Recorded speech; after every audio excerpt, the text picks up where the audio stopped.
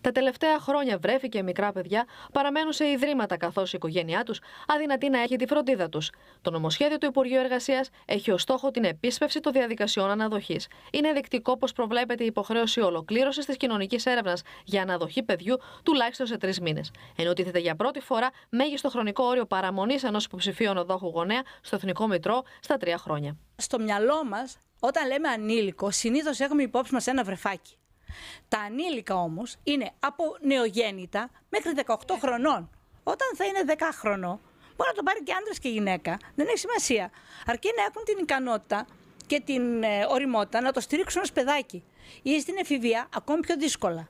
Το νομοσχέδιο καθιερώνει την υποχρεωτική επιμόρφωση των υποψηφίων θετών γονέων και επανακαθορίζει τις προποθέσει καταλληλότητας των ανάδοχων γονέων. Θεσπίζεται επίσης για πρώτη φορά στην Ελλάδα ο θεσμός της επαγγελματικής αναδοχής για τις περιπτώσεις παιδιών αμαία ή παιδιών με έντονα ψυχολογικά προβλήματα. Οι οικογένειες ε, παίρνουν, διοθετούν παιδάκια, τα παίρνουν στο σπίτι τους ε, για κάποιο διάστημα ή για χρόνια ή μόνιμα ε, και μεγαλώνουν μαζί με τα δικά τους τα παιδιά. Ναι. Κάνατε εσείς αν είχατε την ευκαιρία.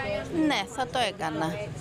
Την ίδια ώρα το νομοσχέδιο φαίνεται πως ανοίγει τον δρόμο για να γίνουν ανάδοχοι γονείς και ομόφυλα ζευγάρια. Αναφέρει πως κατάλληλε είναι και οι οικογένειες που αποτελούνται από συζύγους αλλά και από έχοντες συνάψεις σύμφωνο συμβίωσης. Είναι θετικό. Όμως δεν έχει καμία σχέση με την υιοθεσία. Σε κάποια άλλη φάση ελπίζω ο νομοθέτης μας να προχωρήσει και στην ε, τεκνοθεσία καλύτερα αντί της τυπικού του γνωστού υιοθεσίας, στην τεκνοθεσία και σε ζευγάρια σε σύμφωνο συμβίωσης.